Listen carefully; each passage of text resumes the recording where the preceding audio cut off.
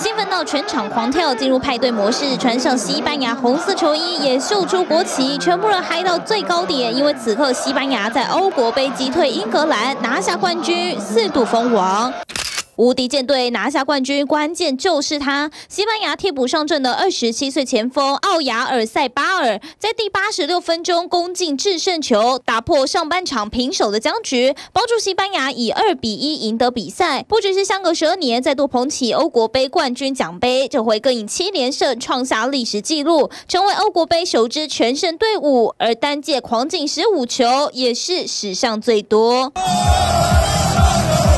纪念历史一刻，点起彩烟狂欢。西班牙不止在欧国杯缔造新里程碑，更打造出明星球员。今年才十七岁的新星亚马尔，不止成为史上最年轻的冠军球员，在欧国杯四次助攻，也成为助攻王，更拿下最佳年轻球员。只是反观对手，看着这决赛后烟火，可笑不太出来。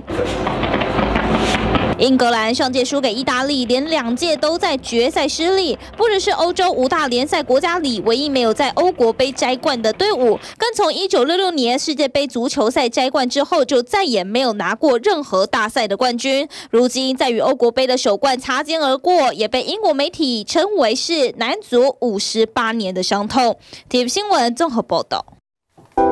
想看最完整的新闻内容，记得下载 TVBS 新闻网 APP。